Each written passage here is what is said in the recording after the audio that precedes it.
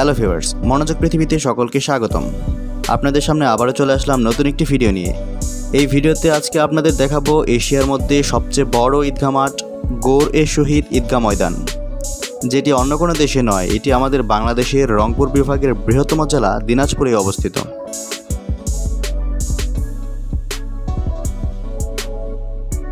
আমরা এই ভ্রমণের যাত্রা শুরু করেছিলাম জামালপুর থেকে seven star travel and tour planner biker গ্রুপের সাথে। আমাদের উদ্দেশ্য ছিল দুই দিনে জামালপুর থেকে উত্তরবঙ্গের বগুড়া, দিনাজপুর হয়ে ঠাকুরগাঁও পর্যন্ত দর্শনীয় স্থানগুলোতে। এই ভ্রমণের প্রথম পর্বের ভিডিওতে দেখিয়েছিলাম জামালপুর থেকে যমুনা সেতু পার হয়ে সারেকান্দি ঘাট পর্যন্ত সকল দৃশ্য ও সঠিক দিক নির্দেশনা এবং দ্বিতীয় পর্বে সারেকান্দি ঘাট থেকে বগুড়া হয়ে সোজা দিনাজপুরের স্বপ্নপুরী পার্কের সকল দৃশ্য ও সঠিক দিক নির্দেশনা। ডিসক্রিপশন বক্সে ভিডিও লিঙ্ক দেওয়া রয়েছে।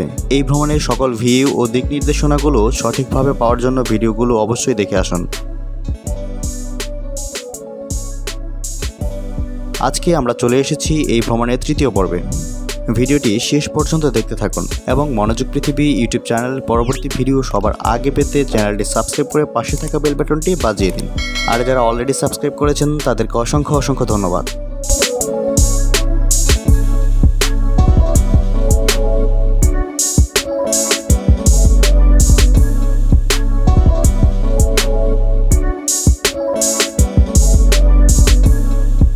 খুব সকাল সকালই হোটেল মৃগয়া থেকে বেরিয়ে যাচ্ছি। স্বপ্নপুরী পার্ক থেকে ঘুরে এসে আমরা সবাই হোটেল মৃগয়াতেই থেকেছি। এখান থেকে সবাই যাত্রা শুরুর জন্য প্রস্তুতি নিচ্ছি।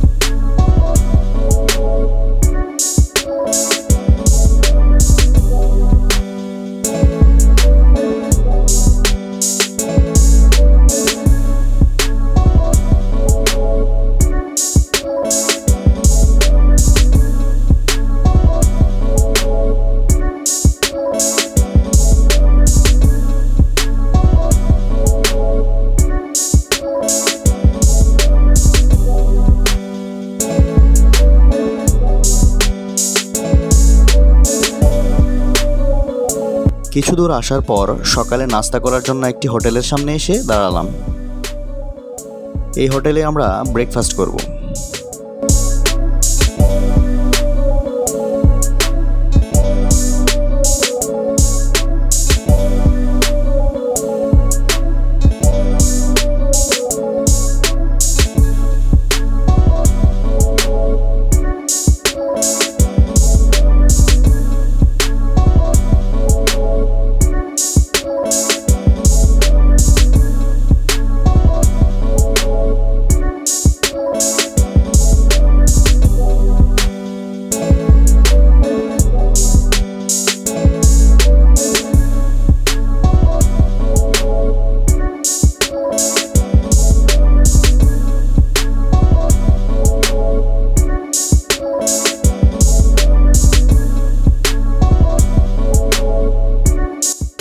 দাওয়া শেষ করে আবার রওনা হলাম।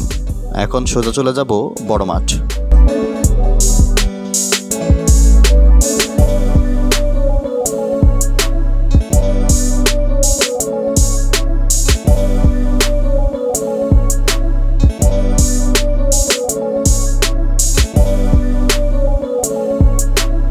আমরা এসে পড়েছি বড় মাঠ।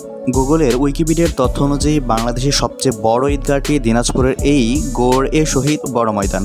উনিশশো সাতচল্লিশ সালে দেশ বিভাগের সময় হতে এ মাঠে ঈদের জামাত অনুষ্ঠিত হচ্ছে।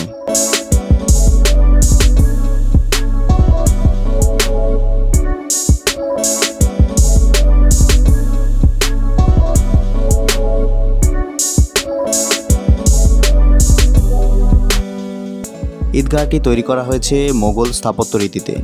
মেহরাবের উচ্চতা পঞ্চান্ন ফুট। বাউন্ন গম্বুজ বিশিষ্ট এই ঈদগাহে রয়েছে দুটি মিনার, যাদের প্রতিটির উচ্চতা ষাট ফুট।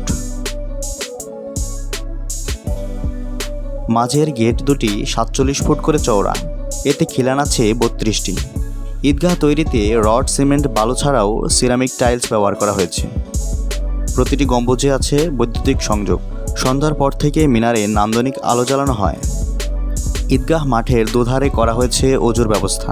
ইসলামী ভাবগম্ভীর্যে সমৃদ্ধ ইরাকের মসজিদ নববী, কুয়েত, ভারত, ইন্দোনেশিয়া সহ বিভিন্ন দেশের স্থাপনার আদলে এর আকৃতি দেওয়া হয়েছে।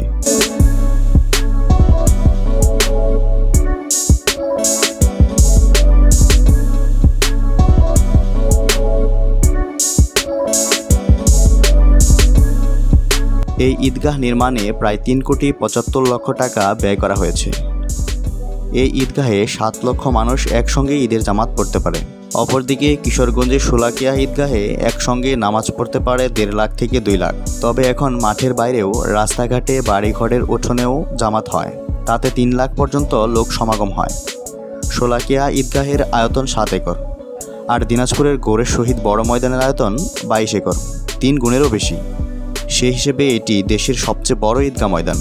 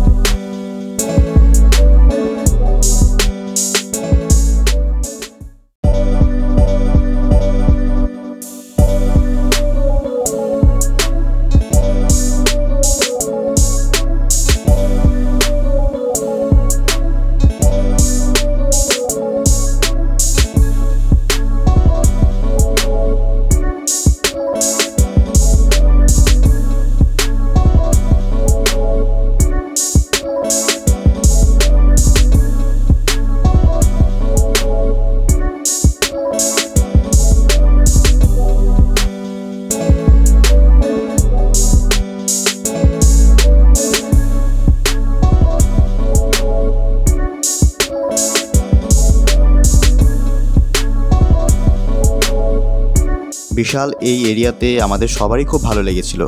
আপনারাও সেখানে গিয়ে জায়গাটি দেখে আসতে পারেন।